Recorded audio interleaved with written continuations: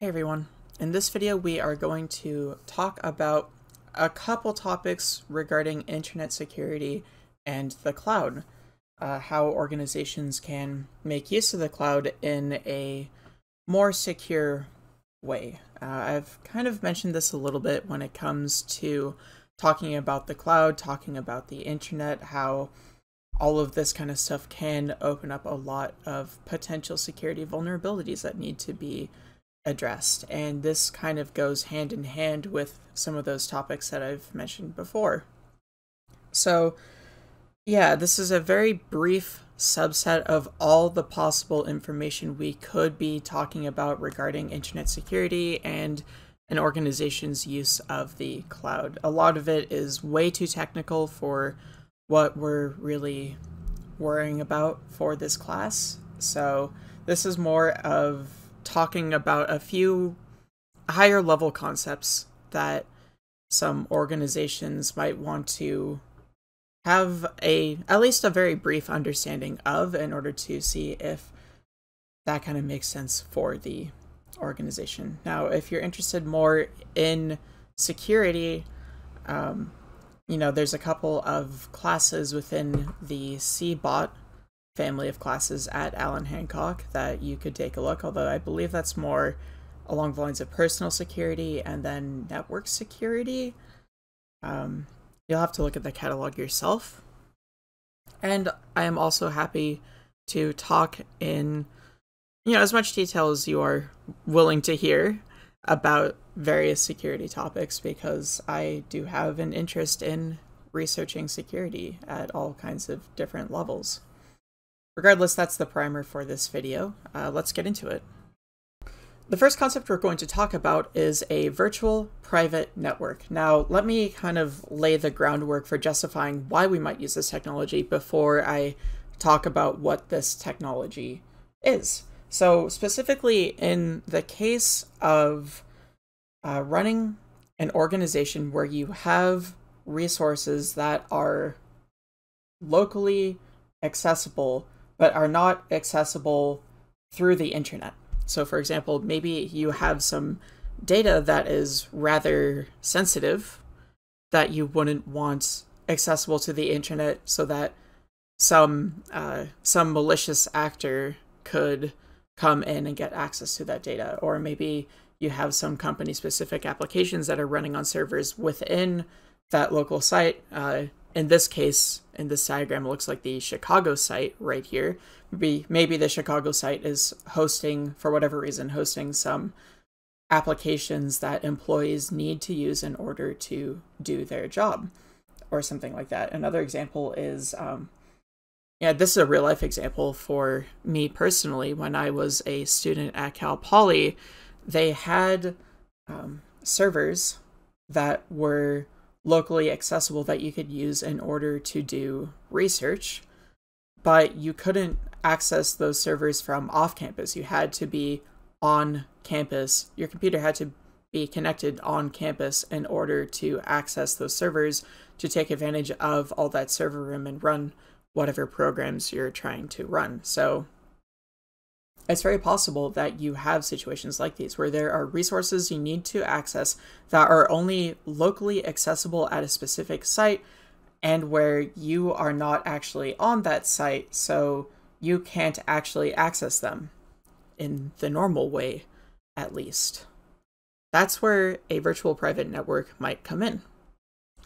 Now, normally when you are doing anything on the internet, let's say you're trying to access a server in order to look at their website or use a cloud application or get access to some data or something like that.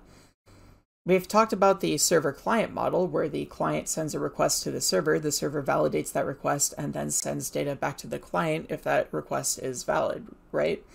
Well, the actual specifics of it is that the client computer, let's say this is you making this request to a server, your computer is going to send a request it, and that request is going to get transmitted from your computer to your router, which then gets transmitted to your modem, which then gets transmitted to your internet service provider. And thanks to somewhat recent legislation, the internet service provider is allowed to look at that request and try to get information about you based off of the data that they can see in that request.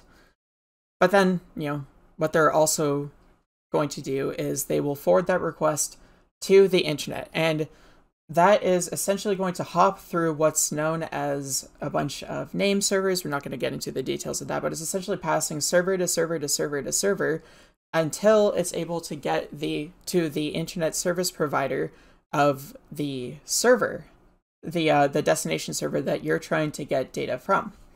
So then that internet service provider, you know, they'll try to get some information off of that um, request that you made, and then they will forward that along to the destination server. And then the destination server will get that data, you know, get that request, validate it, send the data back. That data goes back through their through their ISP, and then it will go back through the internet, uh, bouncing through a whole bunch of servers until it gets back to your ISP, which will then send it back to you. And then once you get it, you actually you know, it goes to your modem, then to your router, and then to your actual computer. And that is the path that data will actually take. Now, when you use a VPN, uh, it works a little bit differently. Um, what happens is you have a VPN client that you install on your computer. It is a program that um, you know, it lets you turn it on and off. Maybe you have some settings for how the data is handled or something like that. But when you turn it on, it's going to create what might as well be a direct tunnel to your VPN server for all intents and purposes. Um, now, you're still taking the same pathway. You're not actually creating a direct tunnel to a VPN server because you still have to follow the existing uh, inform the, the existing information highway. So you still have to send data through your ISP, through the internet, over to the destination server, except instead of going to the destination server, it is going to the VPN server. And then the VPN server forwards that to the destination server. What the VPN tends to do is it tends to wrap the request that your computer is making to get data from the destination server. It kind of puts it in a box, it padlocks that box with a key that only the VPN server is able to open, or requiring a key that the only the VPN server has. And then it will send that locked box to the VPN server. So your ISP will see that you're sending data over to a VPN server, but it won't actually tell exactly what's inside of that locked box because it doesn't have the key. Only the VPN server has the key. So then the VPN server will find that locked box, it will unblock it, it will take the request from inside of it, and then pass that request on to the destination server. And then, you know, the destination server gets the request, validates the request, sends you back data, except it's sending data back to the VPN server, and then the VPN server takes that data, it locks it up, padlocks it with a key that only your VPN client has, and then kicks it through to through to its ISP, and then uh, bounces through the internet, goes to your ISP. Your ISP can't see what's inside. Uh, that padlocked data then goes all the way through to your modem, then your router, and then your computer. So the VPN server, essentially what it's doing here is two things. For one, it's making sure that nobody in between your computer and the VPN server is able to actually see what's inside of the request or the data, the request that you're making to a server or the data that you're getting back from a server which is really nice if you're trying to access potentially very sensitive information. It's all cryptographically locked. Uh, it's very secure. Um, VPN companies will say that their encryption is military grade, but really all encryption tends to be military grade if they're using the most up to date encryption, just for the fact, the simple fact that the military uses the most up to date encryption. Regardless, um, all that data is cryptographically locked, so if there happened to be someone snooping in the middle who was trying to see what kind of things you are accessing and what kind of data you're getting back, um, they wouldn't be able to see it because of that cryptographic lock. So that is one benefit of a VPN that most VPNs actually will provide. it's not necessary, I believe, for the virtual private network specification, but most will cryptographically lock everything so that things aren't actually visible from inside. The other benefit is that the destination server, rather than seeing that the request comes from you, they'll see that the request is coming from the VPN server. Here is why that's really helpful for an organization. So we have all this stuff, in this example, we have all this stuff in the Chicago site that you might want to access. What we also have within the Chicago site is a VPN server. Now, let's say you are in Los Angeles. If you're making a request to the Chicago site to access something, the Chicago site is actually going to be able to tell that this request is coming from outside of the Chicago site. Specifically, they can tell it's coming from Los Angeles. So because it's not coming from specifically within the Chicago site, they're going to say no. And this could apply for any place that you could be accessing data from the trying to access data from the Chicago site that isn't within the Chicago site. You could be at the coffee shop next door to the Chicago site trying to access that data. And as long as you're not connected to the Chicago site internet, then they're going to deny your request. But since the VPN is in the Chicago site, since it's connected to that same network, if you are using a VPN and connected to this VPN server, well, everything inside of the Chicago site is going to see that all these requests you're sending are actually coming from the VPN server. So they say, well, hey, this uh, request is coming from within the Chicago site, so it's okay for us to use. They'll send that data back to the VPN server, and then the VPN server will send that data back to you, no matter where you are in the world. So it's a good way of bypassing this requirement of having to be strictly in the Chicago site. That's kind of why we call this type of connection a tunnel, because you have a direct tunnel that leads you straight over to the, in this case, the Chicago site, or wherever the destination of your VPN server may be. Now, if you're inundated with VPN ads, uh, which a lot of people seem to be on the internet nowadays, and they happen to talk about how you're able to watch, you know, you can watch shows on Netflix that are blocked in the United States by changing your location. The reason why that's possible is because major VPN companies are going to have servers located all around the world. And because they're located all around the world, you can choose a particular server that is located in a different country, let's say Great Britain, and then all of a sudden all the requests that you're making look like they're coming from Great Britain. And then websites might treat all of your requests accordingly. They might show you different data because they think you are in Great Britain, because your requests are coming from Great Britain since they're being sourced from the actual VPN server rather than your actual computer. So that's kind of how virtual private networks work here. I want to explain something about this diagram real quick. Um, this blue rectangle within the Chicago site is a, in a sense, a virtual computer within the Chicago site that is able to get all, uh, you know, connect connections to all of these databases or resources or whatever. Um, so the VPN client is essentially pretending like you have a computer inside the Chicago site. That's what is going on with this blue box right here. Whereas in reality, you are all the way over here in this VPN client box. You are running the VPN client and all of your traffic is passing through all that. So you're out here, but the Chicago site thinks that you are actually inside of the Chicago site.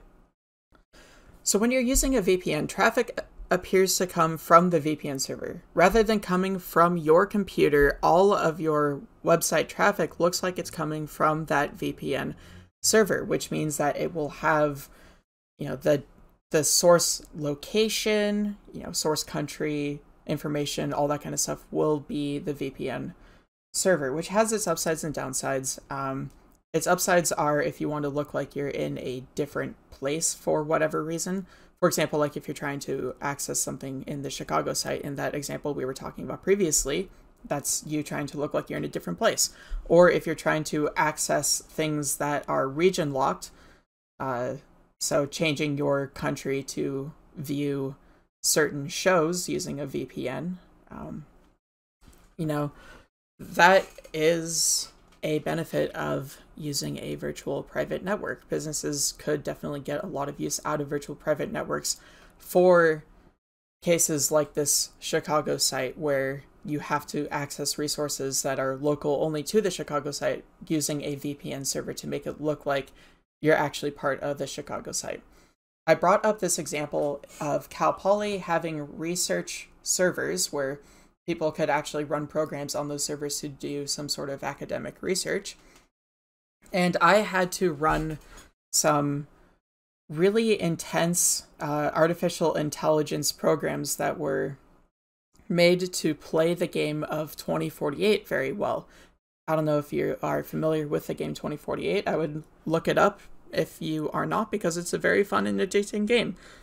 But for a while, a lot of people had been doing research on using artificial intelligence to optimize score in that game, and I was one of them. My research project was trying to find strategies to help optimize human play, help humans uh, get the highest score possible in 2048 using artificial intelligence as a tool to evaluate um, different strategies that humans might be able to work with. Now, I had to gain access to these servers to run uh, someone else's program as part of my background research, but I wasn't on campus super often because this was over the summer and I was pretty far away from the actual Cal Poly campus, so I wasn't able to actually walk onto campus and get access to these servers myself very often. So what I had to do was I actually had to use a virtual private network in order to make uh, my connection, force my connection through Cal Poly in order to make it look like my computer was actually located on Cal Poly because all of my connection requests were going through this virtual private network. Um, you know, I was able to make it look like my computer was on Cal Poly. All the requests were coming from this server that was located on Cal Poly, and I could access the research servers in order to start running the programs that I needed to. So, that kind of example is going to be a huge use case for businesses um, who are trying to run VPNs. Now, traffic can be encrypted between the VPN client and the VPN server, which means that your ISP cannot actually see any of the data that is going between your computer and the VPN server. Now, something to note is that the VPN server is able to see everything. So your requests might be encrypted between your computer and the VPN server, and the data coming back to your computer might be encrypted between the VPN server and your computer. You know, they might have this cryptographic padlock on your requests and on your data that prevents your ISP or anybody in the middle from actually seeing what's going on there. The problem is is that your VPN can actually see that data and they can see the requests that you're making and they can harvest that data and try to build advertising profiles off of you that they then could sell or possibly do worse if you are of a more uh, scared mindset. So you're not completely protected from privacy breaches or anything like that by using a virtual private network. I, I say this, it's so important for me to say this, by the way, because VPN ads totally claim the opposite. They they talk about the um, the fact that your information is protected between your computer and the VPN server, so your ISP can't see what's going on. And yes, that is completely true, but they can see what's going on. They can build advertising profiles off of that kind of data. And if you ask me, I think that's why they're really trying to sell that they're so good for privacy because they're trying to get people who are worried about privacy on their platforms and then build advertising properties off of them. But I don't know. That's just that's just my hypothesis. Regardless, it, it is important to know. If you're working with really sensitive data, you want to work using a VPN specifically built and configured by the company you're working for. If you're using a third party VPN, that is a potential source of loss of privacy or security. And if you are bound by certain laws or regulations to protect certain pieces of data, this could be a way in which data is not protected if you're using a third party VPN. So, uh, a lot of companies that are doing this kind of setup that are actually using a VPN are going to configure their own VPN, use their own servers located on their own hardware that they own, set up a VPN client. There are lots of open source uh, protocols and softwares out there that they can use in order to make a VPN client. And then, you know, get that set up so employees can safely use it without possibly risking any data. Now, the other major benefit that I, I briefly mentioned before is that um, these can protect against some man in the middle attacks. Now, I, I, will say that HTTPS does almost the same thing. Um, so, really quick, uh, when I talk about man in the middle, uh, what that means is when your information is going between your computer and the server that you're trying to connect to, a man in the middle attack would be if someone was able to intercept that data in the in the middle and then read what's going on or maybe change some of that information or something like that for some malicious purpose. And if you are working with particularly sensitive data, that has to be stored at a uh, specific location on company grounds, uh, and you're using, you know, you're you're just connecting to it without a VPN, then um, this could be of concern. Is if someone is able to intercept that somehow. Um, one possible man in the middle type of thing could be you know, you could consider your ISP spying on what data you're sending and receiving to be man in the middle. Uh, you could also have a man in the middle where someone, uh, you know, you're you're trying to do some work at a cafe and access stuff uh, at the organization that you work for, and someone at the cafe has maliciously set up a fake cafe network that you connect to, and they essentially redirect any requests you send to them through the real cafe Wi-Fi. But in the meantime, they're able to try to harvest data. They're able to try to see, um, you know, what you're doing, try to get sensitive information. Or, you know, it's even possible for them to set up fake versions of popular websites that people might be trying to visit. Like, for example, they might set up a fake a fake banking website that collects usernames and passwords and then just sends you to a error like oh no our website is down. Please come back later. While in the meantime you've given them your username and password and uh, they're able to then use that to get into your banking account and scrape your money or you know get all your money out of there. So that would be a man in the middle attack. VPNs can actually prevent against that kind of thing. And this is one of the few cases where I would actually recommend using a VPN is if you're using public Wi-Fi like this, uh, no matter what you're doing, a VPN is really beneficial because if you connect to, even if you connect to a fake uh, version of the public Wi-Fi, um, what happens is that all of your connection, all, like all of your information is encrypted, so they can't try to intercept your requests to go to certain websites and present you a fake website instead. Instead, these requests will be meaningless, uh, so they might just be forced to either drop it completely and it looks like that makes it look like that public Wi-Fi isn't working for you, so you get off and go somewhere else, or um, they might just pass it on to your uh, VPN service as normal, and they can't really get anything out of there because of the fact that it's encrypted. That's where VPNs are really, really good, is in hyper-specific scenarios like that. If you're doing sensitive work for your organization in public Wi-Fi, a VPN is a great choice because you will be able to do all of that safely without risking any sensitive data that you might be trying to work with.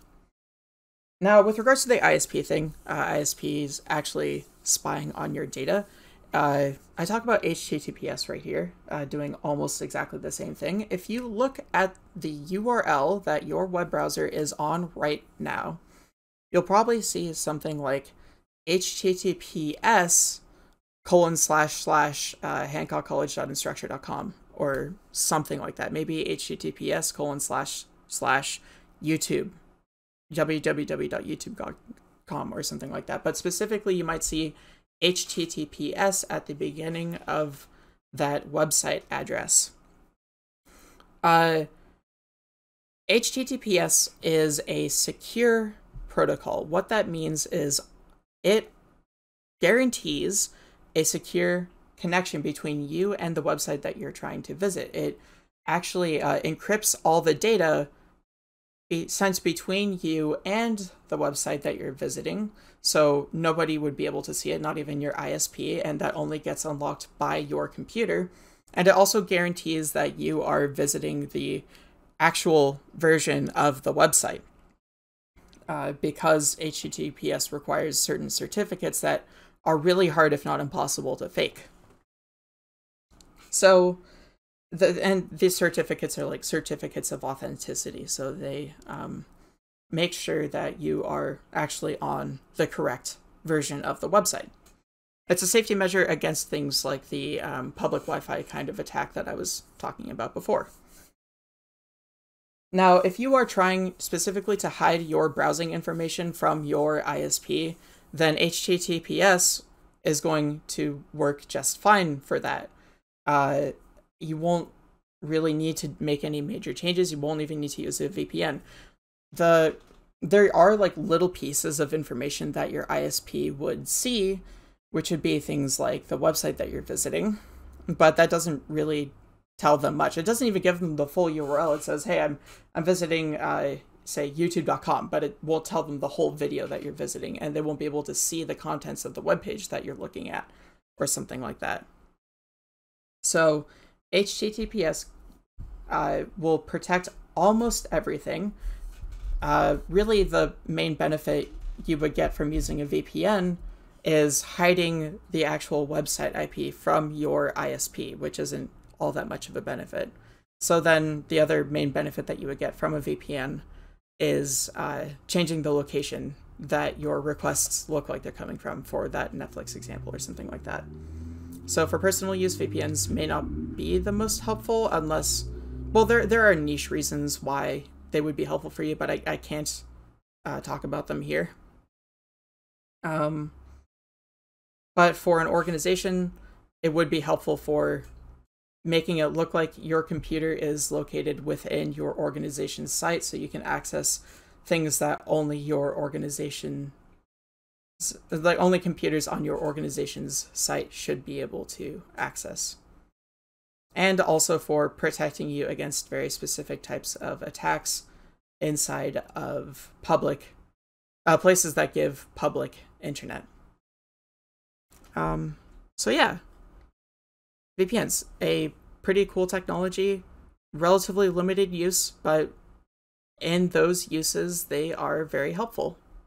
Now, very quickly, the reason why it's called a virtual private network is for the fact that you are making a connection, what, what appears to be a connection from within this uh, Chicago site here, when in reality, you're outside of the Chicago site. So it looks like, it appears to be that you are directly connected within the Chicago site. That's this virtual side of things. The virtual referring to the fact that it appears to be this way, but it isn't in reality. Because the reality is you are connecting through a VPN client, through uh, your ISP, through the internet, through another ISP to the VPN server, and then to the endpoint where you're actually, you know, doing the work and stuff like that.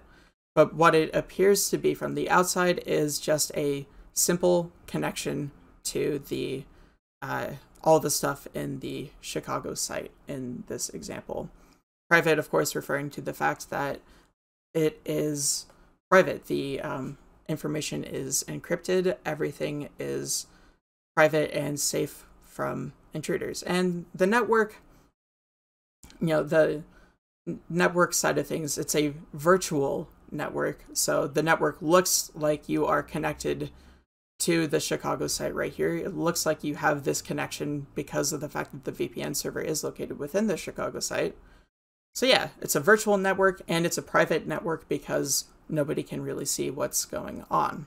The network really is the virtual network really is this tunnel that is made through the internet. This tunnel being the connection between the client and the server.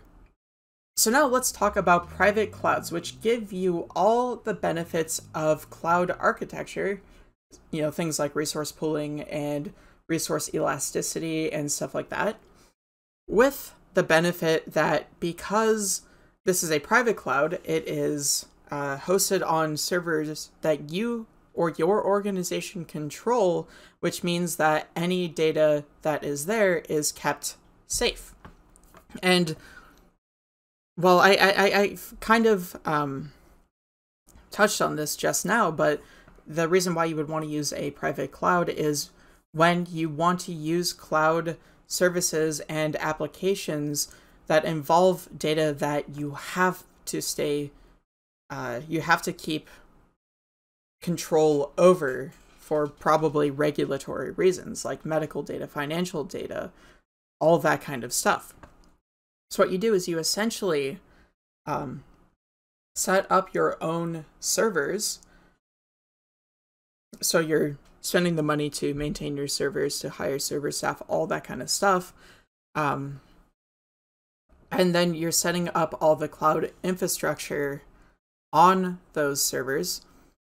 Things like the Elastic Load Balancer, which uh, allow for the uh, allocation of resources for different uses as needed all that kind of stuff that we've been talking about with allocating servers for website loads and all that kind of stuff that's what the elastic load balancer does you set up the web servers that run things like the uh, all the web applications and all the uh, behind the scenes applications that interface with in this case a uh, database server like this so you have a database and a web server. Um, the web server is running all the database applications that in this case seem to control inventory for uh, a lot of it, but then also all the other applications that are being run. And then the load balancer is making sure that resources are being allocated for every single possible use case of these uh, inventory applications. So, you know, all these people who have different inventory applications, they are probably going to be running different applications based on their different use cases because the people in customer service are going to be using these inventory applications a lot differently than people who are in shipping. And then people who are in sales will be using these inventory applications a lot differently as well, and accounting will be using inventory applications quite a bit differently as well, or even they might all be using different applications whatsoever.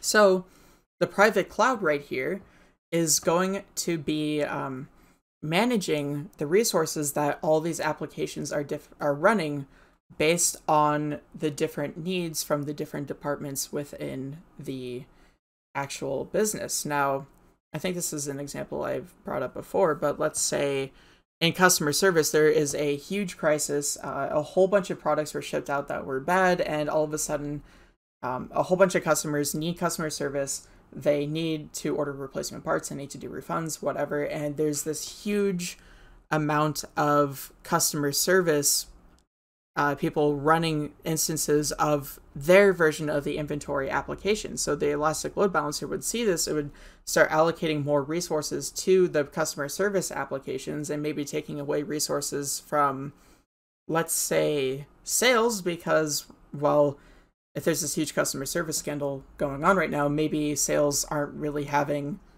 that busy of a day, given that no one wants to buy these broken products. So, uh, the Elastic Load Balancer can take resources away from these sales browsers, provide those resources over to the customer service browsers, maybe start running more applications, maybe give more server power to those uh, applications, and so on and so forth. So you get these benefits that you would normally have with a cloud vendor, uh, you know, going to a cloud vendor and getting their services, but also you have all of this really sensitive inventory data that you can keep on site that you don't have to give to anyone else and hope that they do a good job with it. You know exactly what that data is, you know exactly what's happening to that data, exactly who can access that data, and exactly how uh, everything is interfacing with that data. You have full control over that. And of course, like in the last example where people were able to use a VPN to access uh, local resources on a particular site, if you need to access a private cloud remotely, you can use a VPN. As long as that VPN server is hosted on site, then your connections will look like they are coming from on site and you should be able to access the private cloud just fine from anywhere. So a VPN works really well with a private cloud.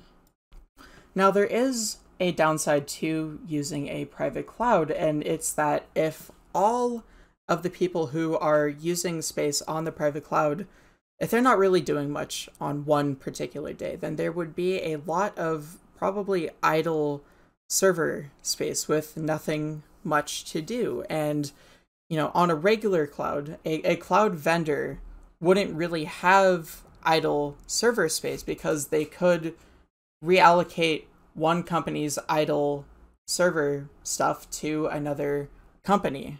Uh, they could shuffle all that server space around as needed.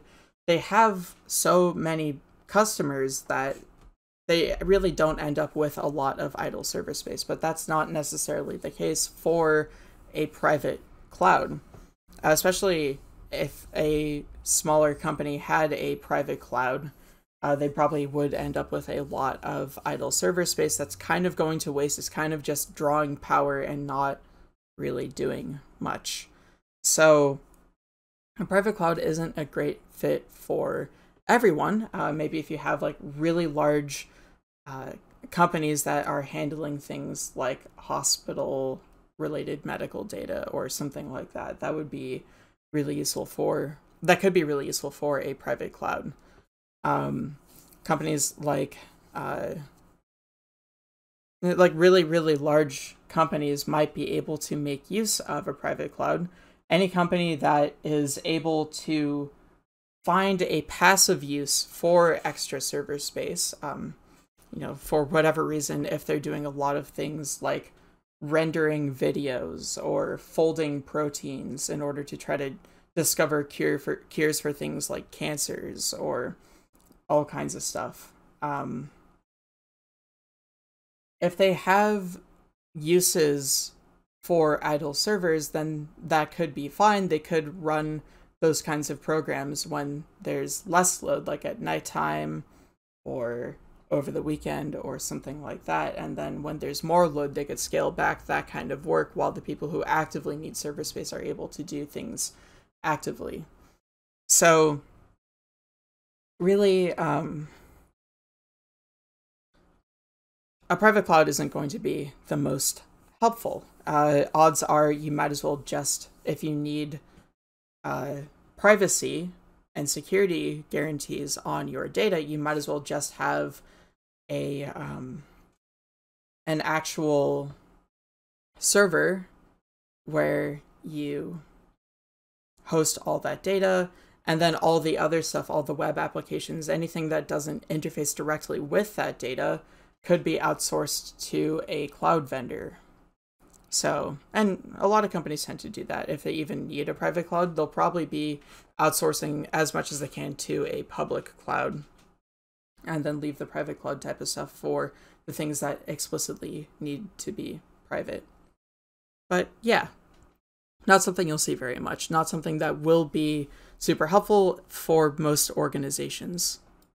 Now, you can sort of attempt to get the best of both worlds here using a virtual private cloud, which essentially what you do is you rent out a bunch of space on a public cloud and you set up a virtual private cloud, which essentially acts as if you have your own private cloud, but it's running on a public cloud vendor's servers.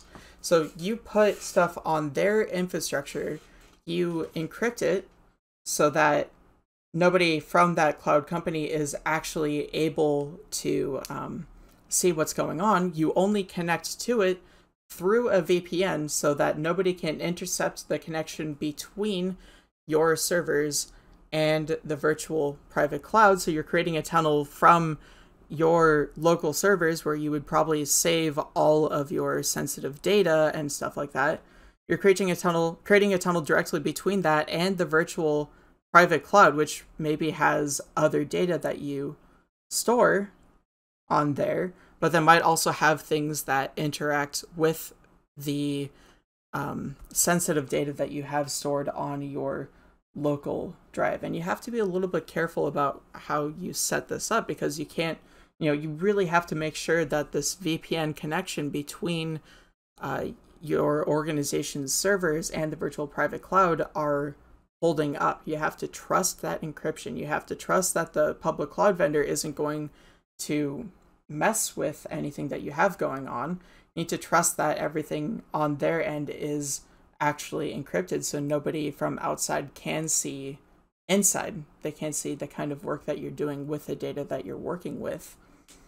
So essentially what you're doing is you are trying to make this um, secure area within a public cloud that only you know what's going on inside of only you and but when i say you i should say your organization. People within your organization are able to see what's going on in there. Only people within the organization can control the data that's passing in and out of that area everything that goes in and comes out is private it's encrypted because of the fact that all of that all of that data is being funneled through a VPN so that's the idea of a virtual private cloud. It's trying to make essentially the best of both worlds.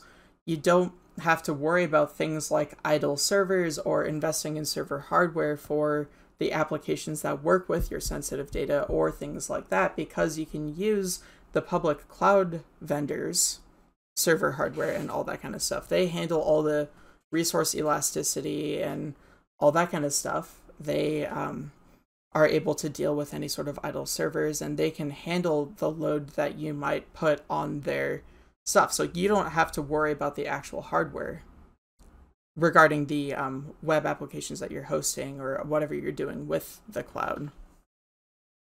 So you're essentially sectioning off a piece of the public cloud and making it highly restricted, requiring secure access in order to actually do anything with it. It can be built over the existing public cloud infrastructure provided by vendors. Um, you have to trust the cloud vendor and the encrypted connection between them. So that would also mean trusting the VPN. Whether that's using a uh, third party VPN, you have to trust that VPN company, or whether it's um, building a VPN yourself, you have to trust the integrity of your VPN. Uh, so you have to trust that they won't look at your data, trust that they won't close your server and make that data inaccessible. And it's still it still really isn't that good for data that has to be super controlled and private. And the reason why is because you could store all the private data on your servers at your organization's actual office or warehouse or whatever. You can store all that data on site. But if you are accessing that data through a cloud application, whether it's a public or pri- virtual private cloud, um, you're still making copies of that data. You're still sending copies of that data across the internet onto the hardware that belongs to someone else, whether it's encrypted or not. That still could be touchy because what if they're able to break that encryption?